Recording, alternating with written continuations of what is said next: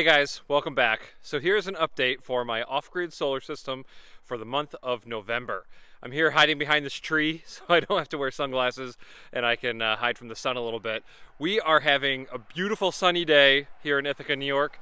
Unfortunately, I am not getting anything from it. You can see all that snow covering my solar panels up there.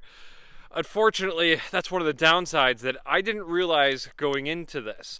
Uh, so November has been good. The whole system has worked very well. I'll get into that in a second, but I didn't realize how many days would be lost just from the solar panels being covered with snow.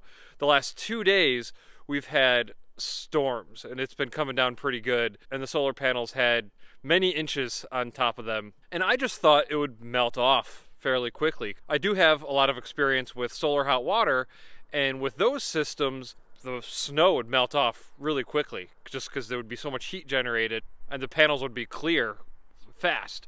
With these, unfortunately, it's been all day of a beautiful sunny sky and they are still covered. And of course, it's so high up there that I don't even think I can get a rake long enough, a roof rake, to, to clear all those. So I'm disappointed with that. That's where a ground mount system definitely would have won, but I didn't really realize that. I didn't think about that. Nobody told me that was going to be an issue. Oh well, I'm going to try to buy a rake anyway, see if I can get the longest one possible. And if I can at least get the bottom row, then maybe that'll start warming up the panels and more of it would melt off. I don't know. But unfortunately, like I said, we had two days of storm, and then now we have more snow coming tomorrow, and we've been on grid all of this time. So most of the month of November, we've been on grid not much I can do about it. Thankfully, like I mentioned in my last video, I figured out that I can just have the grid switch on and have that power setting to negative two kilowatts. So then it's only pulling that much from the grid. But I have actually noticed an even better thing about that is that if we do have to run the dryer or something, we, we're still low on battery power, uh, it will actually pull more power from the grid if necessary. It will go over that two kilowatt mark. So that's nice because our dryer's electric. I converted that from propane uh, last year when it was sunny and all this stuff was working great. And yeah, so now it does get tough trying to keep electric cars charged and running the dryer and running the circulator fans for the furnace system. So I'm learning a lot and nobody told me this stuff. And even in videos, I watched a lot of videos going into this to figure out if this was even doable. Uh, it turns out it's really not possible to be fully off grid with at least the lifestyle that we have and the two electric cars. You would need a mammoth system. It would probably would have to be at least double the size of what I have currently. Another thing that just happened that's really awesome is that I have the new solar disconnect installed.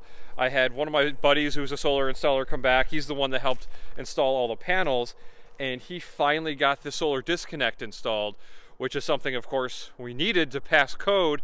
And if you've been following all these videos, you see the issues I had way back in the beginning where there was an RF system from Midnight Solar that just didn't work with this inverter for some reason. There's some kind of frequencies that jammed it, and we couldn't get the RF units at the solar panel to close. Uh, so yeah, that was a whole issue. That was that goes way back. That was a huge thorn in my side. Uh, spent a lot of money and time trying to figure out that and why it wasn't working. And Midnight Solar came through, really stepped up, and they gave me a whole new setup uh, without having to return the other one. I guess this new one is more expensive, but they didn't charge me anything additional for it. So I have these two systems. I think I paid maybe a thousand bucks for the first system, the RF system.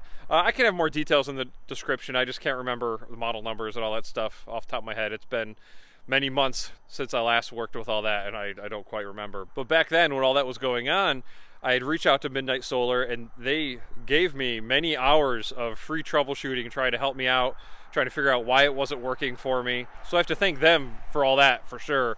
I, I, that was so nice. I mean, I wish, I wish Princeton Power would stand by their product and help me out in some way instead of just throwing me to the wolves. But, but anyways, uh, Midnight Solar was awesome.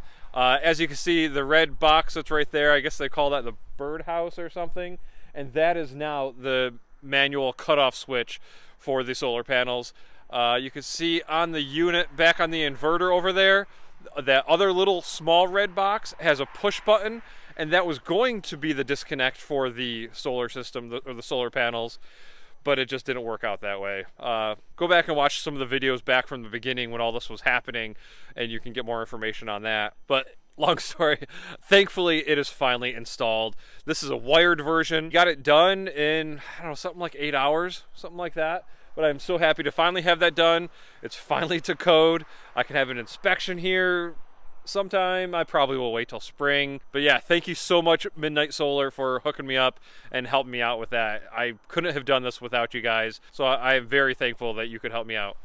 Next, I can touch on the batteries a little bit and talk about those. I'm still using the T-Rex that's uh, like right up there in the garage. Unfortunately, it's a lower capacity, but like I said in the last video, I still don't have the controller to manage the temperatures or batteries and contact or stuff like that for the T-Rex camper. So unfortunately I have 77-ish kilowatt hours just sitting there. Um, I hope it's okay. I, I have coolant in there, so it shouldn't be freezing, shouldn't have any issues, but I'm pretty disappointed. I really want to get that controller in and get that working because that makes life so much easier. We're also going to tweak the settings a little bit because right now the T-Rex trailer inside the garage stays a little too warm. I think we can drop that down. I think it warms it up to about 20 C and that's higher than it really needs to. So I'm thinking 5C, 8C, something like that.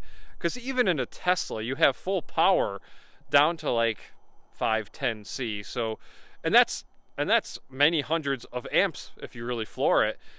And I don't need that many amps in a house system like this. I mean, most we ever see is 20, something like that. It's really low. So in the new controller that we're designing, that I'll hopefully have soon in the camper, uh, we're gonna have lower temperature limits and it'll just make it a lot more efficient for use here at the house. And lastly, I usually go over the bill that I received for the previous month. So in this case, that would be, what, October, but I haven't received a bill yet.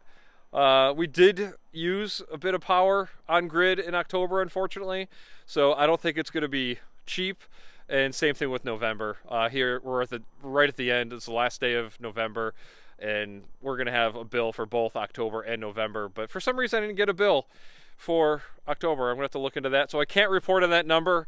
Um, I also might switch this to a billing cycle video because it is kind of confusing and it's hard for me to remember and report back on all the happenings for the previous month and then the previous month it might be better just to follow a billing cycle. So then i could talk about that billing cycle and how we did in that billing cycle and then i would have the bill for that billing cycle if that makes any sense.